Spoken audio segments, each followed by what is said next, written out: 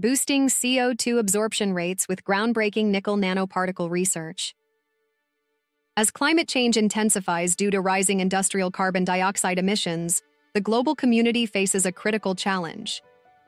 Beyond consumption reductions, carbon capture offers hope by intercepting CO2 before it enters the atmosphere. This scientific field is crucial in mitigating environmental impact and ensuring a sustainable future. Led by Professor Lidija Šiller and Harold Orendi, with Kevin Joby from Newcastle University, UK, groundbreaking research has developed an advanced carbon capture approach using nickel nanoparticles to enhance the efficiency of monoethanolamine.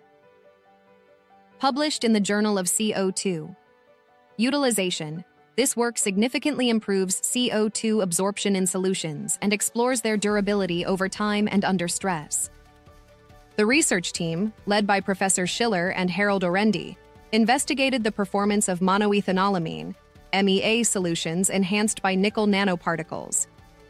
Their findings indicate that nickel nanoparticles significantly boost CO2 absorption rates, especially at cooler temperatures.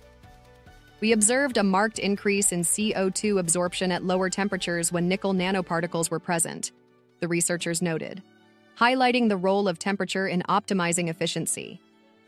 The research also revealed that while nickel nanoparticles enhance CO2 absorption, they lead to faster degradation of the monoethanolamine solution, particularly when exposed to high temperatures and oxygen. The team identified the byproducts of this degradation, noting that oxygen causes the solution to darken. Balancing enhanced CO2 capture with solvent longevity is key for future research, said Professor Šiller and Harold Orendi. This work not only improves carbon capture efficiency, but underscores the need for ongoing innovation to address climate change, highlighting the potential for a sustainable future through scientific advancement.